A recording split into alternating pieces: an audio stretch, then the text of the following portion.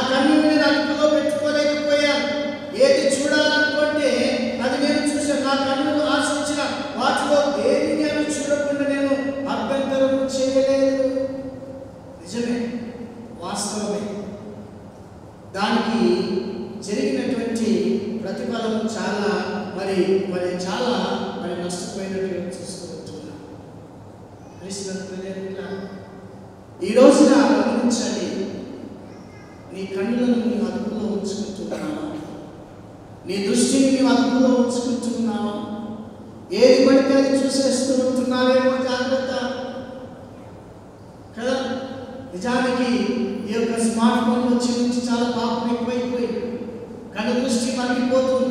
పాపంలో మానవుడు పడిపోతూ ఉంటున్నాడు ప్రియా ఎవరి బిడ్డల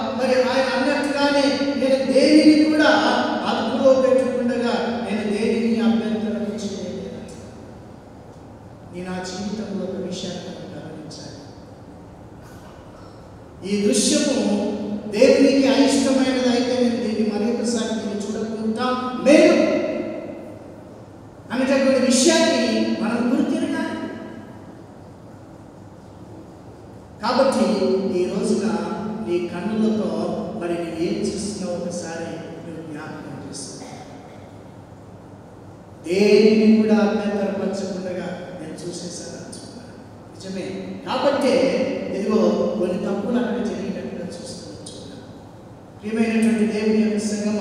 మొదటి రాజుల గ్రంథంలో మనం గమనిస్తు గమనించినట్లయితే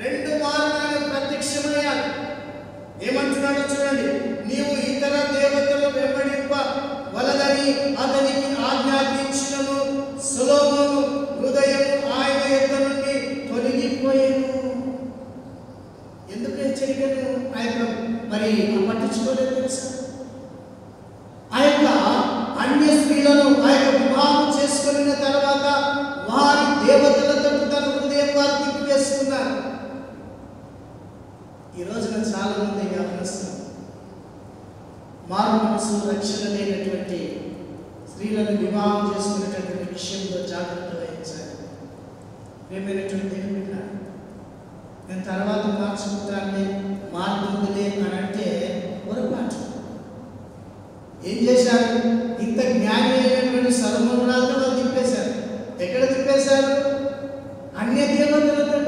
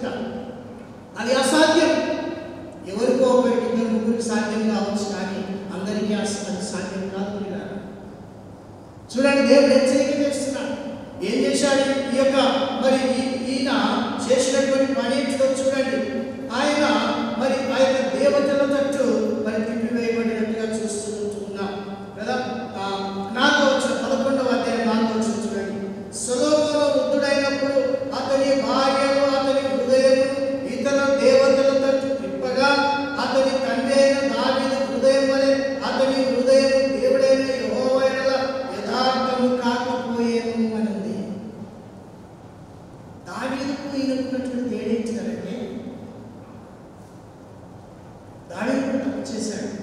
కానీ దాని ఒప్పుకున్నాడు. ప్రియా యొక్క సంగమ సొలమోను నాలుగు దేవుడు హెచ్చరిక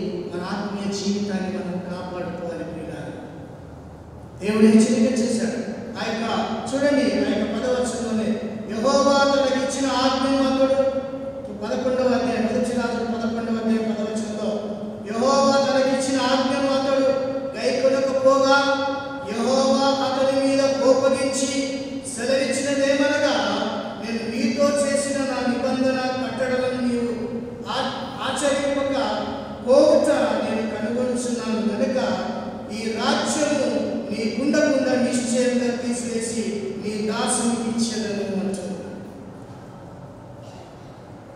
నీ నుంచి నీ రాజ్యాన్ని తీసివేస్తాను ఎందుకు తెలుసా? నేను నా మాట వింటాను నువ్వు నా మాటకు హెచ్చరించిన వ్యక్తులను అనగా నువ్వు అసలు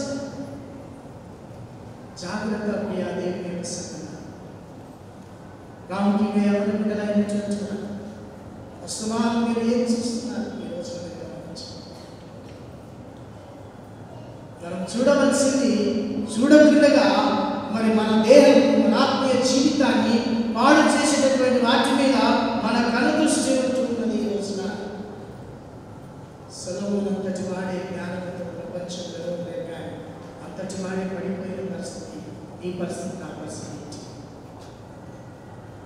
నీ పరిస్థితి నా పరిస్థితి ఏంటి కాబట్టి దేవుడు ఈ రోజు మనకు హెచ్చరిక చేస్తున్నాడు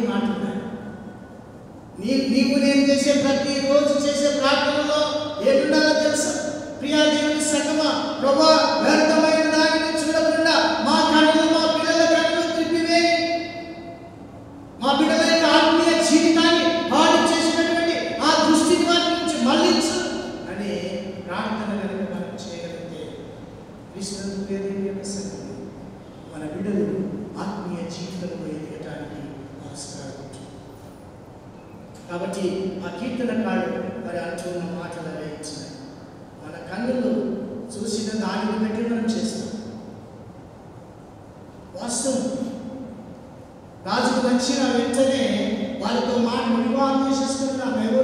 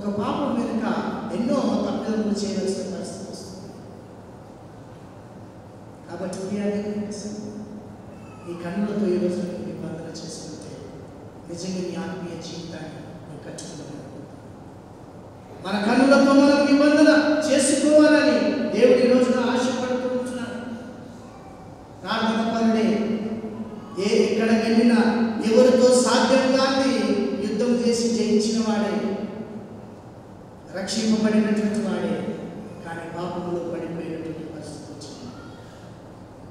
కన్నులు ఎంత ప్రమాదమో ఈరోజు నేను జ్ఞాపకం చేస్తున్నాను ప్రియ మన కన్నులను మన ఆధీనంలో ఉంచుకుండగా వ్యర్థమైనటువంటి దానిని చూడకుండా అయ్యా మా కన్నులను తిప్పివేయవా అని ఒకసారి నేను ప్రార్థన చేస్తే కనుక నిజంగా ఆ పరిస్థితుల్లో నుంచి మన దేవుడు తప్పించింది.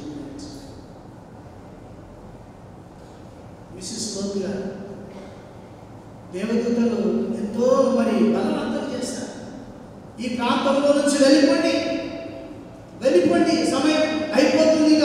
మరి ఆయన అగ్నిగంధకాల ప్రదేశంలో పడతాయి అంటే కూడా దేవదూతలు బలవంతం చేసిన అమ్మగారు ఒకసారి తన యొక్క ఆ ఆ- ఒకసారి వెనుకకు చూచడం ద్వారా పుస్తకం మారిపోయింది. ఒక ఒక మీరు ఏ ఏ పరిస్థితిలో కూడా మీరు వెనుకకు ఈ మీ చూపులో ఎంత ప్రమాదం ఉందో అక్కడ తెలియజేస్తుంది ప్రియాదేవి పని మేము చేస్తే శిక్షార్హులం అవుతాం జాగ్రత్త. ఏది చూడొద్దంటున్నాడో అది చూడకుండడమే మేలు. అది నీకు నాకు అది దీవెనకరము ఆశీర్వాదకరమైనటువంటి విషయాన్ని దేవుని యొక్క వాక్యము మనకు జ్ఞాపకం చేస్తుంది ఎదురుకుండా ఏదైతే చూడడం ద్వారా ఈ ఆత్మీయ జీవితాన్ని పాడు చేస్తుందో దానికి దూరంగా ఉండాలని ప్రభు మనం హెచ్చరిక చేస్తూ మరి దేన్ని చూడాలి? దేన్ని చూడాలి? అనంటే దేవుని యొక్క నీ జీవితాన్ని విశ్వాసంలో ఉంచే దాని మీద నీ కన్నులు పెంచు నిన్ను విశ్వాసంలో బలపరిచే దాని మీద నీ కన్నులు ఉంచు. నీ పరిశుద్ధ జీవితాన్ని ఆత్మీయ జీవితాన్ని నీ ప్రార్థనా జీవితాన్ని పాడు చేసే విధంగా నీ కన్నులు ఉండవలసింది. నీ ఆత్మీయ జీవితాన్ని బలపరిచేటటువంటి దాని మీద నీ కళ్ళు ఉంచు విశ్వాసంలో ముందుకు సాగే వాహనంగా ఉండాలని దేవుడు సెలవిస్తూ అబ్రాహం చూడండి లేక మరి ఆది కాండము పదమూడవ అధ్యాయంలో మనం గమనించినట్లయితే అక్కడ మరొక మాట